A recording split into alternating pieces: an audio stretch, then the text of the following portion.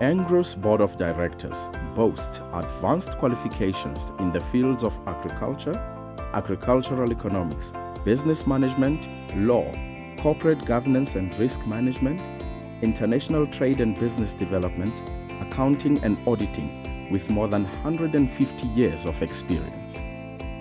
The intellectual capital includes an LLB and BA law degree with 56 years of experience in commercial and international trade law, corporate governance and risk environment.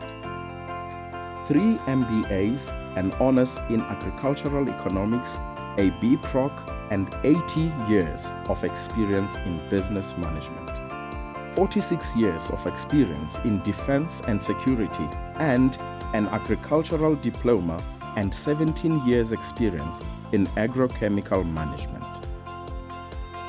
Director Werner Weidemann started farming in 2000 and succeeded to establish a farming enterprise with a current annual turnover of 50 million rands, which includes 200 permanent and 120 temporary employees.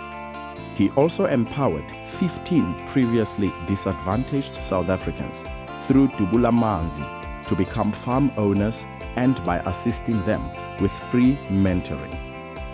Currently, they are successful farmers and are expanding their businesses into other farming ventures.